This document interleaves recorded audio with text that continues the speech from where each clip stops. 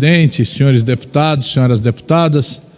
Daqui a poucos minutos, nós estaremos dando entrada aqui no chamado super pedido de impeachment do presidente eleito Jair Bolsonaro.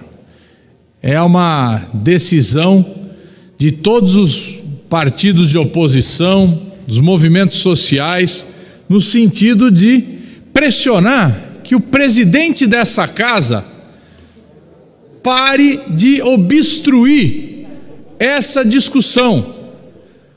A Câmara dos Deputados tem que dar ouvido a mais de 120 pedidos que estão na gaveta do presidente da República. Nós precisamos dar andamento a esse debate. A CPI tem demonstrado cabalmente que esse governo é um governo que levou à morte de mais de 500 mil pessoas pela forma como tratou a pandemia, incentivando a aglomeração, incentivando o não uso das máscaras, incentivando que as pessoas continuassem usando o transporte público e indo trabalhar quando deveriam permanecer em casa para garantir que a contaminação não progredisse, comprando cloroquina como um remédio que resolvesse o problema da, da pandemia e deixando de comprar a vacina. E agora revela a CPI que quando foram comprar vacina, tentaram faturar para os seus próprios bolsos. Um governo que se gabava de dizer que não havia corrupção ali dentro.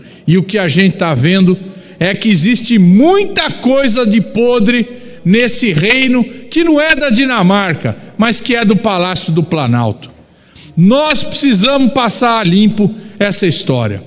O Brasil precisa saber de fato o que está acontecendo com esse governo. Um governo que deixa a Amazônia ser destruída, um governo que entrega o patrimônio nacional, que destrói as grandes empresas de infraestrutura como a Petrobras, a Eletrobras, o Correio, um governo que não dá a mínima para o povo brasileiro, que a cada dia sofre mais com a inflação crescente, sofre com o desemprego, com o subemprego, sofre com a miséria. É hora de acabar com esse governo. Já deu, já deu, se passou. É hora do povo brasileiro poder de fato ser ouvido. E para isso, fora Bolsonaro, impeachment já.